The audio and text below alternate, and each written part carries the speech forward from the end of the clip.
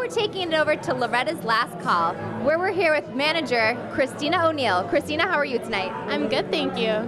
Christina's here on the weekends, so she knows a little bit about some of the live entertainment. What is the main draw behind Loretta's? The main draw behind Loretta's is we're this great country themed bar um, located on the corner of Lansdowne Street. We have live music on Friday and Saturday nights, which really draws a big crowd.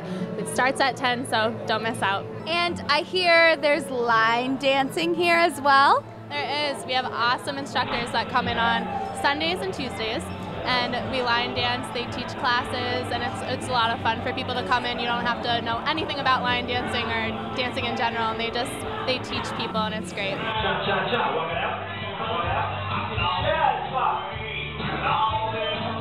Yeah, I think Amanda and I are definitely coming to do some line dancing.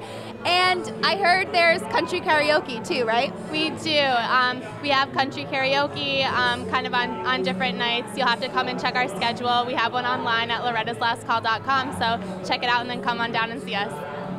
And what kind of food can someone have at Loretta's Last Call? At Loretta's, we love country themed food. We think that southern wholesome food is just so great. So you can come down and try our awesome macaroni and cheese and chicken and waffles, which is really, oh, really chicken great. waffles? Yeah, it's so, so good.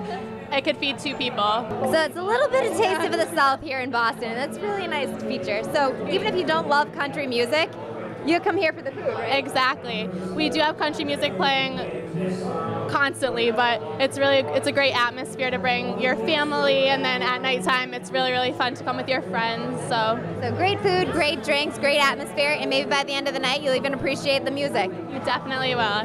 Can guarantee it. I heard a lot of people ordering a Jose Cuervo drink today. Can you tell me a little bit about that?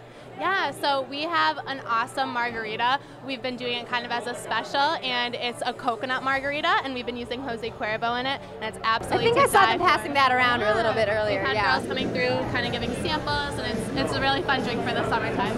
Well, thanks, Christina. I know we're having a great time here tonight at Loretta's, and it was great getting to know you. And thank you for your time. Thanks so much for coming.